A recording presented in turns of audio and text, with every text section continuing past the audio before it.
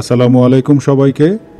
দেশ এবং দেশের বাইরে থেকে যারাই এই ভিডিওটি দেখছেন এভলিউশন অফ বাংলাদেশ চ্যানেল থেকে সবাইকে স্বাগতম। আশা করছি আপনারা সকলেই ভালো আছেন।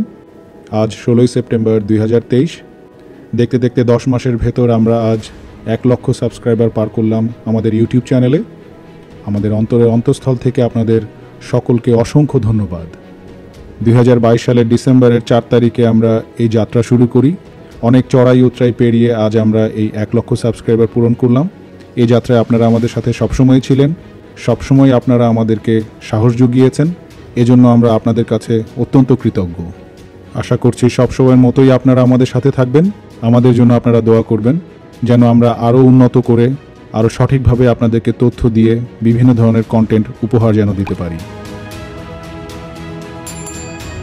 দেশের অন্যতম একটি মেগা প্রকল্প বিমানবন্দরের তৃতীয় টার্মিনালের কাজ প্রায় বিরাশি শতাংশ সম্পন্ন হয়েছে। আগামী সাতই সেপ্টেম্বর মাননীয় প্রধানমন্ত্রী শেখ হাসিনা এই প্রকল্পটি উদ্বোধন করবেন। উদ্বোধনকালে এই প্রকল্পের প্রায় নব্বই শতাংশ কাজ শেষ হবে বলে জানিয়েছে কর্তৃপক্ষ।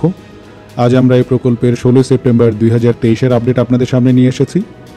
আশা করছি আপনাদের এই ভিডিওটি ভালো লাগবে। চলুন শুরু করা যাক। বর্তমানে আমরা রয়েছি বিমানবন্দরের কাওলা এলাকাতে, যেখানে ঢাকা এলিভেটেড এক্সপ্রেসওয়ে প্রকল্পটি শুরু হয়েছে। এই ঢাকা এলিভেটেড এক্সপ্রেসওয়ের একটি র্যাম্প এই বিমানবন্দরের তৃতীয় টার্মিনালের সাথে যুক্ত হতে যাচ্ছে। বর্তমানে এই র্যাম্পের কাজ যেমন সমাপ্ত হয়ে গেছে, গত সেপ্টেম্বরের দুই তারিখ থেকে এই এলিভেটেড এক্সপ্রেসওয়েটিও চালু করে দেওয়া হয়েছে। বর্তমানে এই র্যাম্প দিয়ে ফার্মগেট, মহাখালী বা বনানী থেকে আগত গাড়িগুলো এই বিমানবন্দরে এসে সরাসরি নেমে যেতে পারছে। বাম পাশেই রয়েছে বিমানবন্দরের তৃতীয় টার্মিনালটি। বাম পাশে আমরা তৃতীয় টার্মিনালের পার্কিং ভবনকে ফেলে সামনের দিকে এগিয়ে চলেছি। এই পার্কিং ভবনটি হতে যাচ্ছে তিনতলা বিশিষ্ট। এখানে একই সাথে পার্কিং করা যাবে প্রায় তেরোশো পঞ্চাশটি গাড়ি।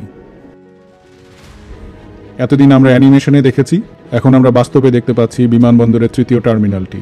এই তৃতীয় টার্মিনালে প্রবেশ এবং বের হবার জন্য তৈরি করা হচ্ছে ফ্লাইওভার। উত্তরা থেকে আগত যানবাহনগুলো একটি ফ্লাইওভারের মাধ্যমে এই তৃতীয় টার্মিনালে উঠে যেতে পারবে। স্টিল গার্ডারের এই কাজটি অনেকাংশেই সমাপ্ত হয়েছে। এখন চলছে সংযোগ সড়ক নির্মাণের কাজ। কুড়িল থেকে আগত গাড়িগুলো সামনের এই রাস্তা দিয়ে বিমানবন্দরের তৃতীয় টার্মিনালে ঢুকে যেতে পারবে। এই রাস্তাটির কাজ অনেকাংশেই সমাপ্ত হয়ে গেছে। ফ্লাইওভারে ওঠার পর দুটি রাস্তা দুই দিকে চলে গেছে। একটি রাস্তা টার্মিনালের নিচের ভবনের দিকে এবং আরেকটি রাস্তা দিয়ে উপরে টার্মিনালের দিকে চলে যাওয়া যাবে। কুড়িল থেকে আগত গাড়িগুলো এই ফ্লাইওভারের নিচ দিয়ে সামনের এই রাস্তায় এসে দুই দিকে রাস্তাটি চলে যাবে। বাম পাশের রাস্তাটি চলে যাচ্ছে নিচে টার্মিনালের দিকে এবং ডান পাশের রাস্তাটি উপরের ভবনের দিকে চলে যাচ্ছে। এছাড়াও এই রাস্তার নিচ দিয়ে এই টার্মিনাল থেকে বের হবার জন্য একটি আন্ডারগ্রাউন্ড রাস্তা তৈরি করা হয়েছে। সেই রাস্তার কাজও অনেকাংশে সমাপ্ত। এখন মূল সড়কের সাথে যুক্ত করে দেয়া হবে এই সড়কটিকে। মূল ভবন বা পার্কিং থেকে যে গাড়িগুলো আবারও এই টার্মিনালে আসতে চাইবে, তাদের জন্য রাস্তা থাকছে। সামনের এই রাস্তাটি দিয়ে উপরের ভবনে এবং এই রাস্তাটি দিয়ে নিচের ভবনে চলে যাওয়া যাবে। তৈরি করা হয়েছে সুন্দর দুটি জলাধার।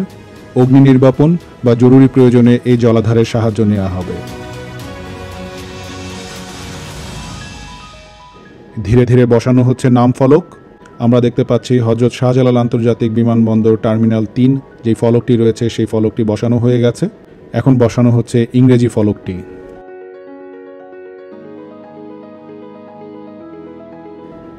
দুই হাজার উনিশ সালের তিরিশে ডিসেম্বর প্রধানমন্ত্রী শেখ হাসিনা হজরত শাহজালাল আন্তর্জাতিক বিমানবন্দরের তৃতীয় টার্মিনালের নির্মাণ কাজ উদ্বোধন করেন। জাপানের মিৎসুবিশি ও ফুজিতা এবং কোরিয়ার স্যামসাংয়ের এভিয়েশন ঢাকা কনসোর্টিয়াম বা এডিসি এই টার্মিনালের কাজ নির্মাণ করছে।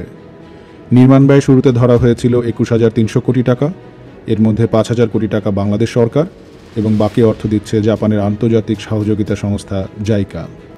এই প্রকল্পে সাতশো কোটি টাকা সাশ্রয় করা হয়েছে। প্রকল্পে নির্ধারিত বারোটি বোর্ডিং ব্রিজ তৈরি করার কথা ছিল। যে টাকা সাশ্রয় হয়েছে, সেই টাকা দিয়ে আরও প্রায় ষোলোটি বোর্ডিং ব্রিজ তৈরি করা হচ্ছে।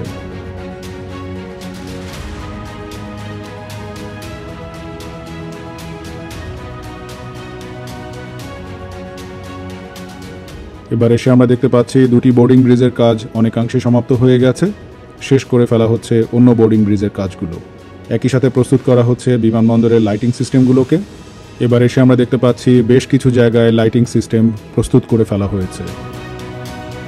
হজরত শাহজালাল আন্তর্জাতিক বিমানবন্দরের নকশা করেছেন প্রখ্যাত নকশাবিদ রুহানি বাহরিন। শাপলা ফুলের আদলে তৈরি করা হয়েছে এর সিলিংগুলোকে। অত্যন্ত সুন্দর লাগছে সিলিংগুলোকে। আমরা অপেক্ষা করছি কবে এই শাপলা সদৃশ সিলিংয়ের মধ্যে অবস্থিত লাইটগুলো জ্বলে উঠবে।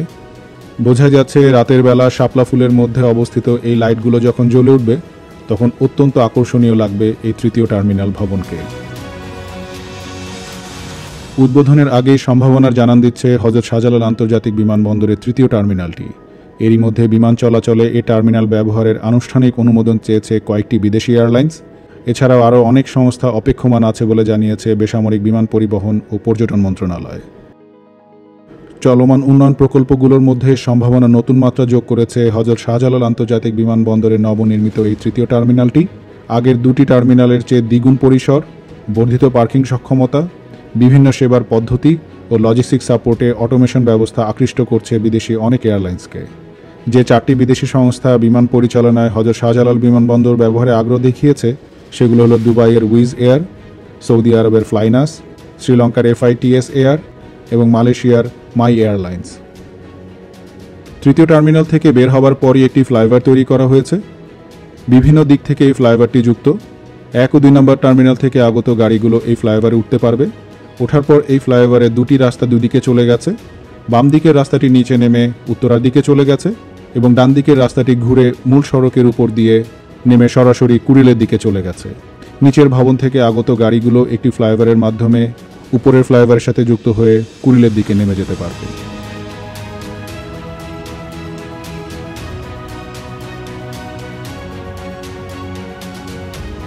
তৃতীয় টার্মিনালের কাজ শেষ হয়ে যাবার পর এক ও দুই নম্বর টার্মিনালকেও আধুনিকায়ন করা হবে।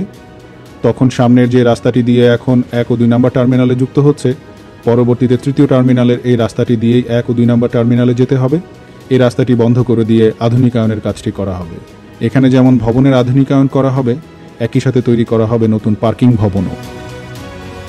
প্রায় দুই লাখ তিরিশ হাজার বর্গমিটার আয়তনের এই তিনতলা টার্মিনাল ভবনে একশো পনেরোটি চেক ইন কাউন্টার, চৌষট্টিটি ডিপার্চার ও চৌষট্টিটি অ্যারাইভাল ইমিগ্রেশন ডেস্ক, সাতাশটি ব্যাগেজ স্ক্যানিং মেশিন, চল্লিশটি স্ক্যানিং মেশিন, বারোটি বোর্ডিং ব্রিজ, ষোলোটি ক্যারোজেল ও এগারোটি বডি স্ক্যানার থাকছে।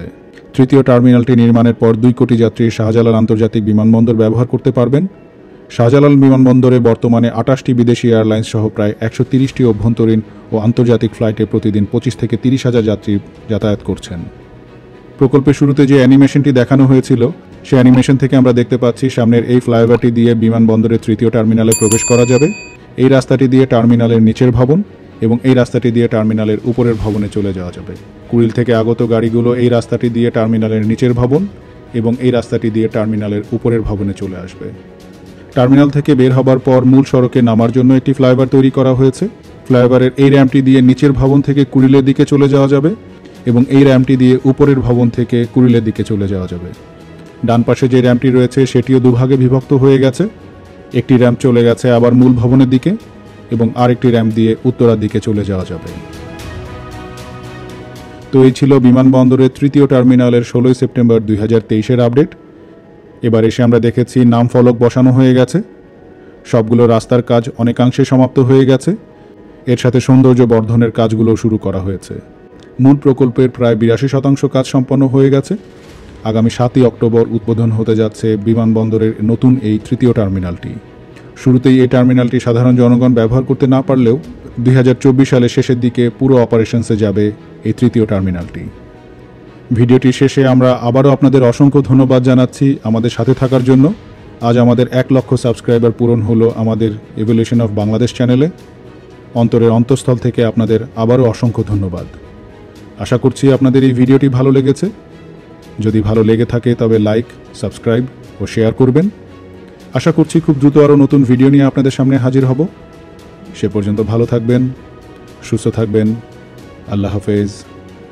আসসালামু আলাইকুম